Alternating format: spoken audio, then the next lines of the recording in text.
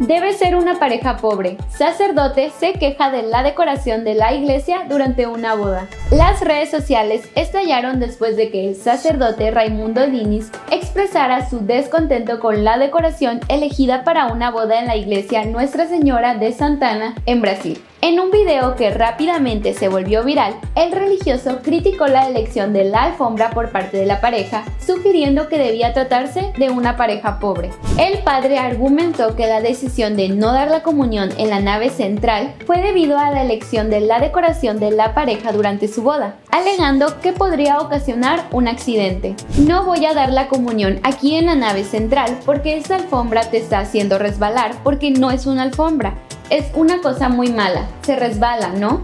Esa es la condición que tenían los novios por desgracia.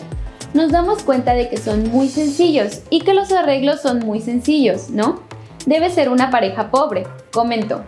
Su declaración rápidamente se viralizó en redes sociales causando indignación. Ante la controversia generada, el cura Dinis emitió disculpas públicas a través de las redes de la parroquia, expresando arrepentimiento si sus palabras fueron mal interpretadas o causaron ofensa. Cuando mencioné que debían ser personas sencillas o pobres, no estaba discriminando a nadie. Después de todo, mi vida como sacerdote consiste en recibir y defender a los pobres, aseguró el sacerdote en sus disculpas públicas.